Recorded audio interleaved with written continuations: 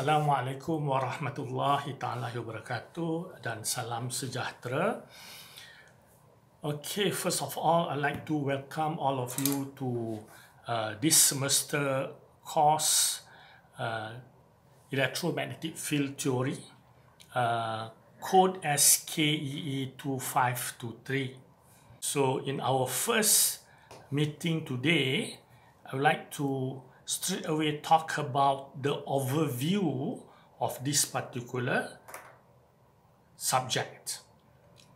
All of you have been given the course information uh, and you can download it from the e-learning website.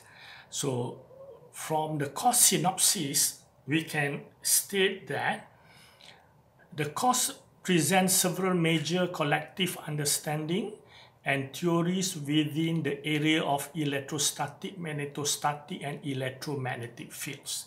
So I'd like to introduce you the main differences between these three type of fields.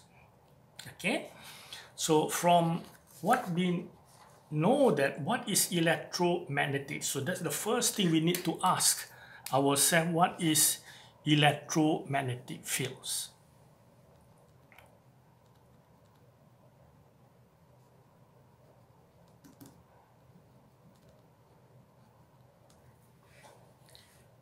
Okay, from easy way of interpreting it, electromagnetic fields actually fields that consist of electric fields and magnetic field simultaneously.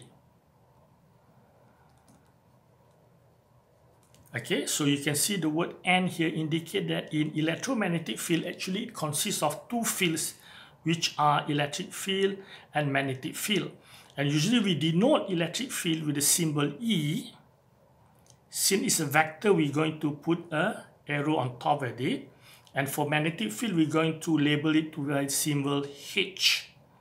So E stands for electric field intensity and H stands for magnetic field intensity. And from our experience or from what we can observe, electric field depending on position as well as time. Therefore, in terms of mathematics, we're going to represent in terms of position as Cartesian, x, y, and z, and also affected by time. So we can say that in electromagnetic field, the field being affected by position as well as time. Similarly, for magnetic field, we have to label it to be function of position as well as time. And we can see it's quite cumbersome because so many parameters involved in this particular field need to be considered in every time you want to solve the problem. So, and at the same, the, and the second point that we must know that both fields exist simultaneously. Okay, so that make it much much more difficult to to study. So example wise okay if we refer to faraday's law okay let's say in point form. Okay so we're going to see that the curl of e equal to minus mu the dh over dt. So that's what we meant by the E and the H actually exists at the same time. So again, electromagnetic field is the field that we're going to assume to be contain electric field and magnetic field at each particular situation. The second point that we have to define that depending on position as well as time. So therefore, what we can conclude, for us to study this type of field straight away in the early part of the course is going to be challenging, as what been mentioned earlier. So what been done in order to simplify the process of learning EMT in UTM course is for us not to straight away talk about electromagnetic field, we're going to make it simple by mentioning each field at each stages. what we mean by that. So, first of all, we're going to introduce not electromagnetic, we're going to introduce electric field. So, electrostatic. So that's why we can see from what we mentioned earlier in our course outline, if refer to the course outline, there's a word electrostatic there. So you can see the reason why we want to simplify the learning process. Rather than we talk about electromagnetic, we learn something simpler, which is electrostatic. So what we mean by that? When we talk about electrostatic, it only consists electric field only.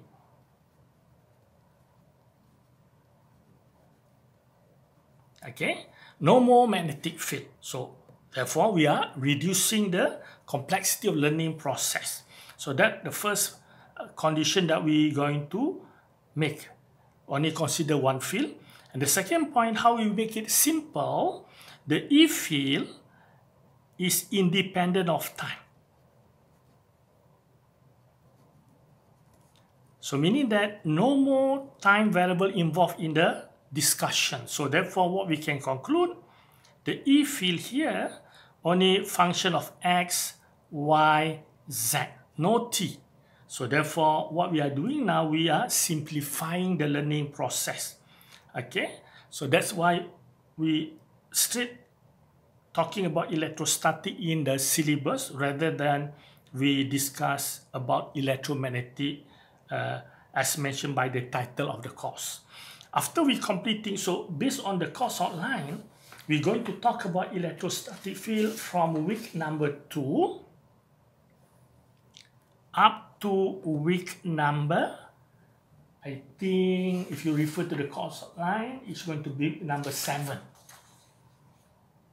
Okay, week, sorry, week number six. So that should be the weeks involved discussing about electrostatic. After completing the electrostatic field discussion, we're going to continue with only focusing on the magnetic field now. So therefore, we're going to focus on magnetostatic field. So the learning process similar as electrostatic, but here we're only going to discuss magnetic field only. no more electric field. So therefore, only one parameter or one field being considered. And also is going to have the second characteristic, which is independent of time. Therefore, the way we're going to define the H now is a function of position only, x, y, and z if we are utilizing the Cartesian coordinate. So this magnetostatic going to be covered within week number 7 until week number 11. Okay, so then how we link these two fields compound, two fields that we discussed earlier, which are electrostatic and magnetostatic, to the electromagnetic field that should be the title of the syllabus.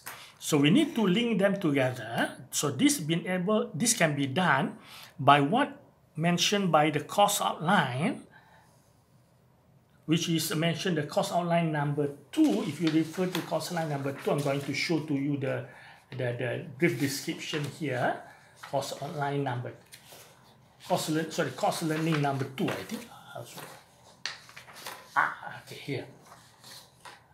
Okay, if you look into the course learning outcome number two, okay, apply Maxwell equation to explain the transformation field from static to time varying. So now what we can see, from static, we go to the time varying. How we going to do that? By utilizing Maxwell equations. Okay, so that's how we're going to be able to link all those three major type of field in this particular syllabus by utilizing Maxwell. So in, so as a conclusion here, the in, in order to ensure us to understand about electromagnetic field clearly, we must be able to actually understand electrostatic first. Okay, so if we cannot understand electrostatic clearly, we're going to have quite a big problem later on when we discuss about electromagnetic field. And we know that electromagnetic field is something that very common that appear around us, which is a practical thing that we need to know because we have to solve uh, a lot of problem regarding electromagnetic in the field of electrical engineering. But yet, to learn straight away about electromagnetic field is going to be a challenging process. So how we uh, want to reduce that uh, approach by making it simpler by learning about all those Maxwell equation based on simpler field which are electrostatic field and also magnetostatic field. So that should be the overview of our uh, EMT subject for UTM course. Okay, thank you.